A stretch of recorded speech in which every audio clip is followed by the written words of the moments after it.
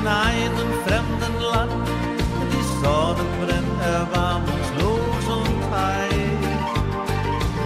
Eine weiße Taube hielt er in seiner Hand, streichelt sie und sagt zu ihm eh ganz leise.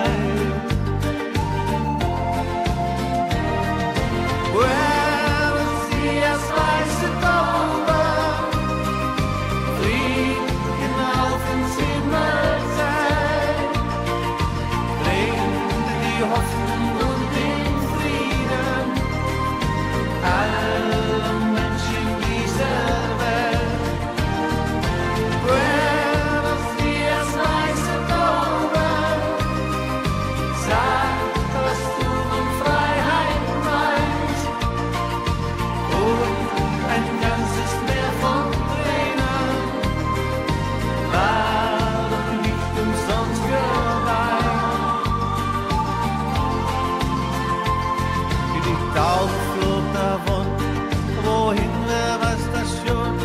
Der alte schaut voll Sehnsucht hinterher. Es war die siebte Taube, die in den Himmel flog. All die